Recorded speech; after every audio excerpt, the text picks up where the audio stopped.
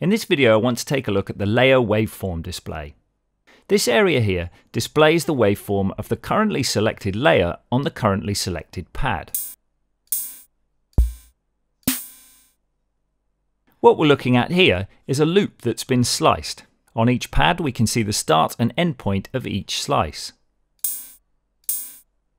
The waveform display has some useful automatic zoom modes. Over here are four small icons. By default, no automatic zooming is selected. That means that if I use the plus and minus buttons to zoom in on this particular slice, that zoom setting is only remembered for that particular layer of that particular pad. If I switch to another pad, you'll see that it's fully zoomed out. If I switch to this mode here, snap to start and end markers, you'll see that the display automatically zooms out to show me the full slice with the start and end markers to the left and right of the window. And when I switch pads, they're all the same. The next mode along is the snap to start marker, which will center the start marker in the display window. This is really useful if you want to go through a sliced loop and fine tune the start marker.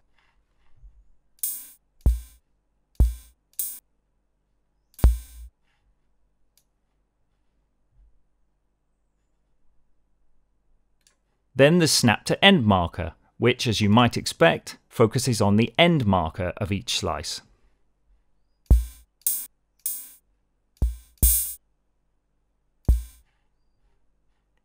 It's worth mentioning these two other buttons here, the A and F buttons.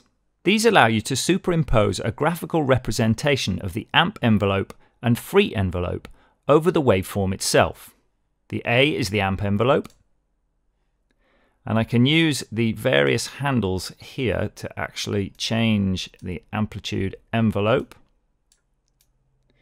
In fact, why don't we zoom to uh, start and end markers here.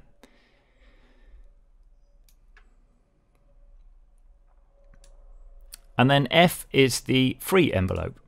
If you have them both enabled at the same time, the AMP envelope goes in the upper half of the window and the free envelope goes in the lower half, like so.